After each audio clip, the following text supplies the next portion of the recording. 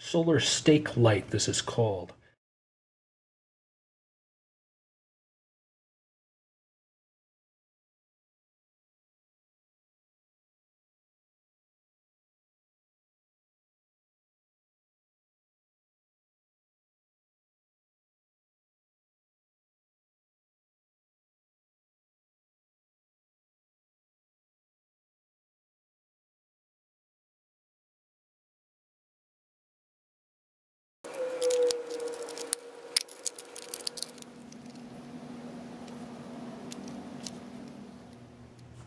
So here it is as part of sort of a survival keychain. It's a self-powered solar rechargeable glow fob, but it does a lot more than that. There's plenty of room to put extra things in here and make this a dedicated uh, sort of all-in-one survival kit instead of carrying a tin. So you've got a self-sufficient off-the-grid battery charging mechanism.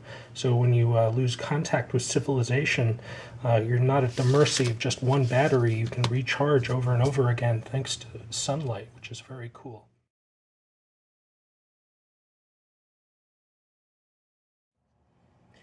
It's a tight fit, but by putting the solar panel upright rather than sideways, you can make just barely enough room for a double A rechargeable battery, in this case nickel metal hydride.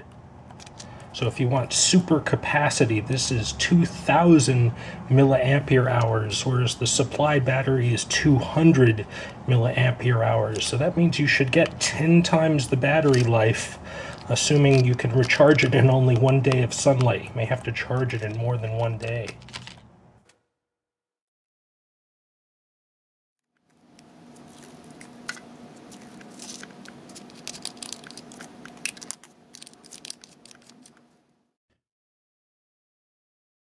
Up top, you have a very bright light in all directions and a real attention getting strobe.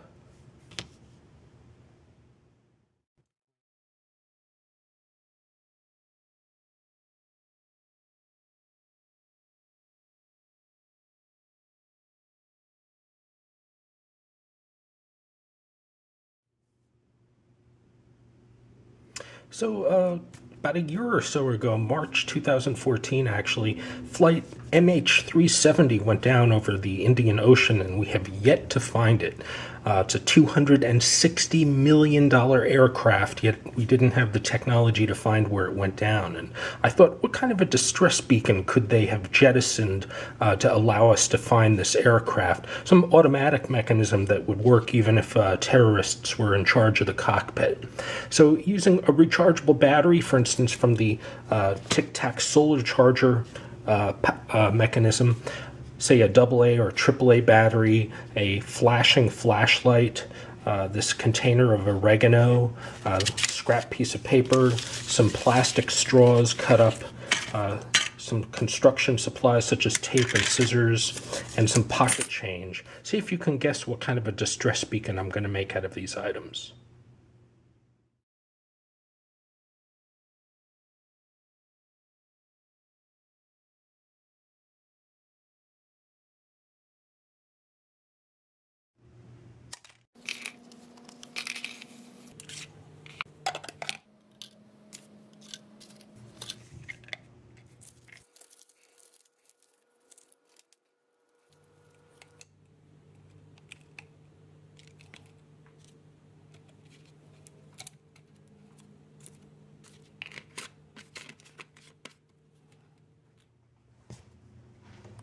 So, see that? That's the Indian Ocean. And here's my distress beacon. Even if you launch it upside down, it self-rights.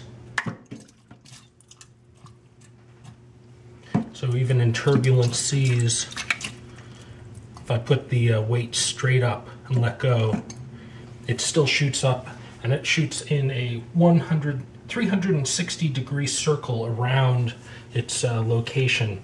It's bobbing very slightly out of the water. Uh, I'm going to turn off the room lights.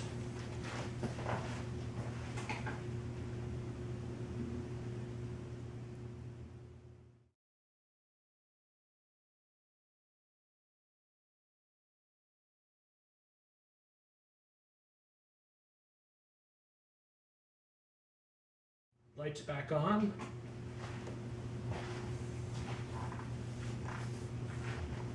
And I made that from about $7 worth of parts.